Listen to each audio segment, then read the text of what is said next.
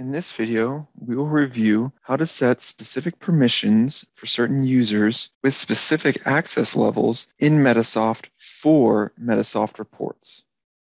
Now, the reports that we are going to specify permissions for are the ones that are inside of the Medisoft reports module.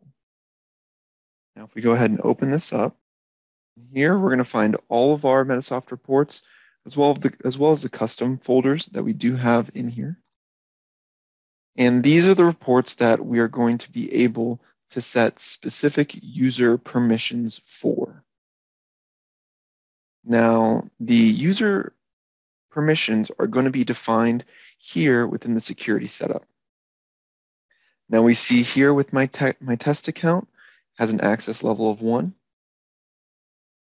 and we get to set specific permissions for the reports based on whether the user is level one, two, three, four, or five. Now, in order to set those permissions, we can go to File, and we'll go here to Report Permissions.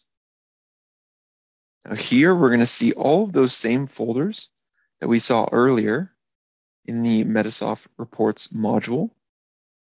And within each folder, we can see each report that is stored within the folders. Now, by default, we've got users one, two, and three access to all of these reports, with users four and five uh, being unable to access them. So here's where you can go through your folders and define what users you want to be able to access which reports. For example, patient account ledger. If you only wanted level one, which is the highest level of access users, to be able to access these reports, you would uncheck two and three. Whereas if you wanted all users to be able to access the patient account ledger, you could check all of the boxes here.